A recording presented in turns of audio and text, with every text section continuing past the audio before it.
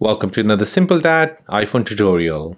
In this video, I'll show you how to disable Today View and Search on your iPhone lock screen running iOS 16. If you're new here, then please subscribe to see more videos like this and don't forget to like this video. So on your lock screen, when you swipe left, you'll get your Today's View and Search. This can give a lot of information about yourself, so let me show you how to disable this. So first, you want to go ahead and unlock your phone. Next, you want to go into settings. Then you want to scroll down until you see Face ID and passcode. Tap on it. Now enter in your passcode. Now you want to scroll all the way down until you come to Allow access when locked. Here you're looking for Today View and Search. Go ahead and disable that option.